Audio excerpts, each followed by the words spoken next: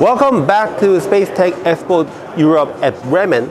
Uh, so this time we are going to um, explore about uh, GTL exhibiting at um, this booth.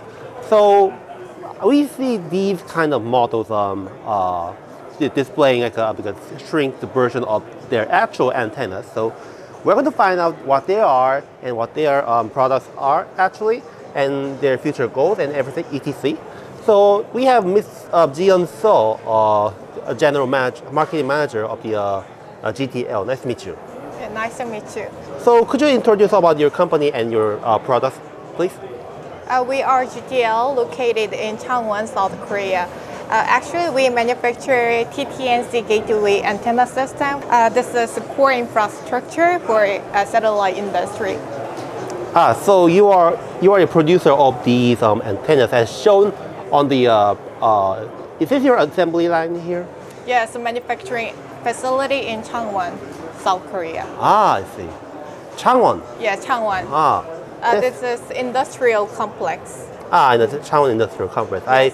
I, I've heard of like uh, uh, Gwangyang and Busan, and I also heard of the, um, the Changwon is also the great industrial complex uh, uh, where one of the major industrial complex in Korea um, is located. Yeah, I really, I really appreciate um, what uh, your growth and what, what your, how your operation goes works like. And so what made you to exhibit at this um, expo this, this time and what customers or buyers you um, really eye for? I think Space Tech Expo Europe is the, one of the biggest uh, B2B event mm -hmm. in Europe. So I think this is the best platform to explore uh, good collaboration. And our core clients are university, government, also military, and ground station as a service companies. I think it is a really good opportunity. Yeah. I see. So you, you so I really like um, your plan of expanding your uh, presence throughout the university and, uh, and organizations in European uh, market. Yes. I know, like um, I heard that your company um, started um, founded on 2019, and you, you are still having a having uh, several baby steps as the um, uh, newcomer in the market.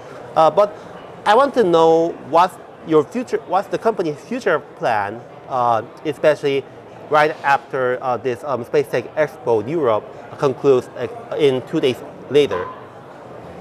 Uh, as the demand for satellite industry grows, uh, I think ground station infrastructure is goes with it.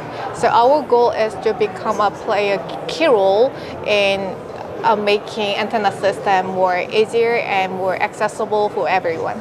I see. Well, thank you for your um, amazing answers. I really hope these antennas um, and your facilities over there uh, will flourish, flourish in the future. Uh, once again, this was David Kim uh, from AVING News reporting from uh, booth of GTL. And thanks, Ms. Seo, for your interview time. Thank you. Thank you. Have a nice day. Bye Have a nice day.